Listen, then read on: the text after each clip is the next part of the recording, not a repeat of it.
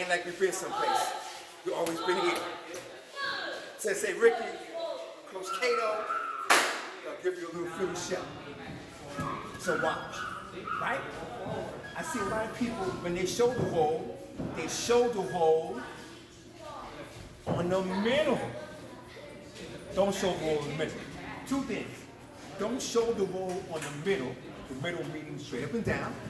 And don't shoulder roll and waste it on the jab. Don't show shoulder roll the jab. You just waste the roll. Okay? So, I'm gonna jab, he's gonna carry.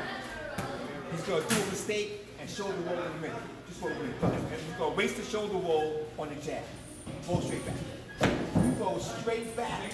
If I'm coming with that force, he's right there for it. That's why you don't shoulder roll in the middle. Right?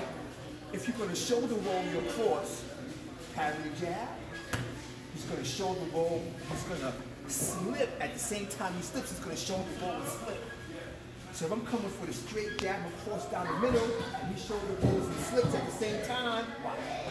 He shoulder roll and slips, I'm overextended, okay? And watch, he's setting a trap for me. You understand? His head is over here. I got no choice but for this hand to either hook him here or cross him here. All he has to do is clear that round. And that's it. So his head is setting a trap on that slip shoulder roll. You can't do that if your weight is all the way do the horn slip Ricky, the horn roll I mean, his weight is all the way back here, he's straight on. You know, I'm good. I'm, I feel comfortable right now. But if he shoulder rolls, I'm the attacker, and he shoulder rolls on the three, I overextended.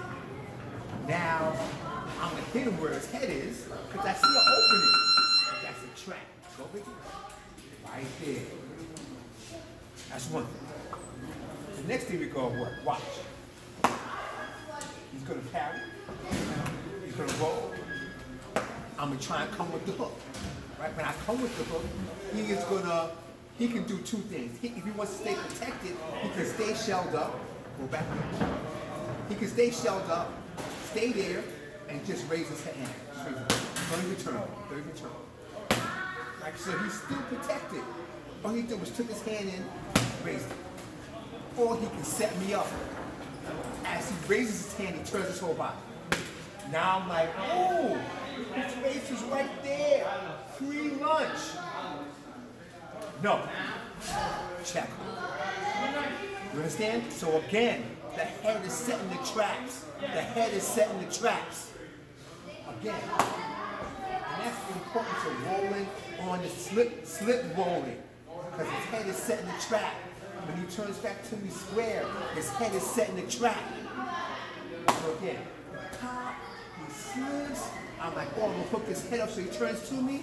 Oh, he gave me that full face. I'm gonna come and I'm gonna smash his face with my force. Pop, check up, folks. Alright? I'm gonna give you one more thing. He's gonna, he's, well, that's a check hook. He's gonna slip. Uh-huh. Come, pop, rolls, boom. I come with the hook, he blocks. Come, he's gonna five, gonna slip, cross. And from there, a little shuffle, shuffle. Watch again. We're gonna go slow first. And some people say we go too fast. You do know in YouTube, you can, you can go over to the lower part, the lower corner and slow it down, right? Come right there, come there. So watch again. Slow.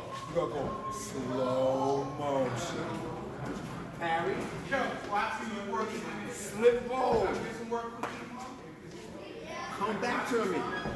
Oh, look, he opened himself up, so I think he's trapping me. Boom. Slow the shuffle. Slow the shuffle. Shuffle. Uh, uh. Glad you have it. If you us something you have. Alright? So this is some this is some some ways you can work the shell. But please do not shoulder roll Don't waste your roll on a jab. That's a wasted roll. Carry that jab. Carry the jab. Or slip the jab. You can right here in, in, in, shell and you can slip the jab. You feel me?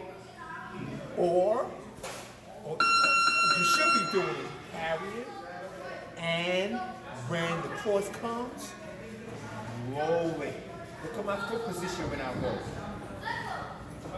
Slightly bent. And look, look at my elbow position, protecting my kidney.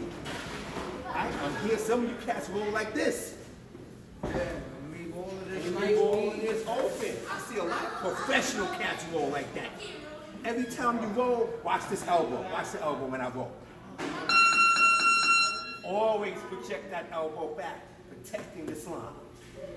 My head is over here, setting the trap.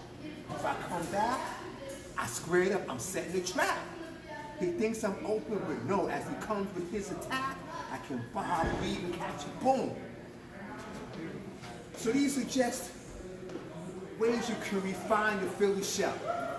Perspectives.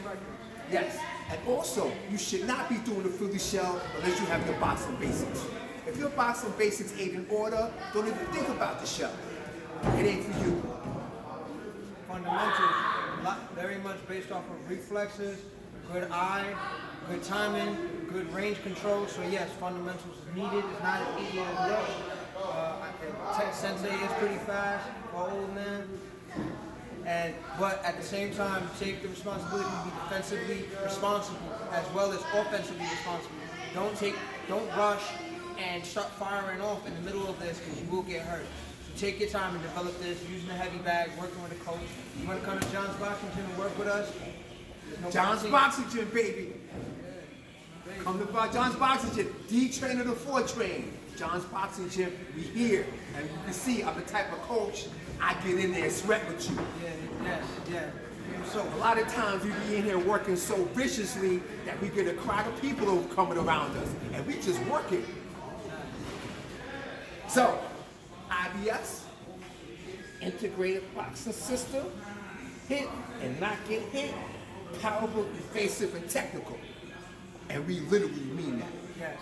Hand movement be on point. Head movement, footwork, everything got to be on point. Before I let you even get in the ring and spar, you gotta be on point. Footwork gotta be on point. Yeah, we go over footwork crazy. Crazy. A lot of footwork, a lot of head movement. You do need to have a high amount of cardio, endurance, and stamina. This Yes. is not for the weak. This is not for the weak. So, Get strong out here. boxing is life. Life is boxing. Learn how to fight, baby.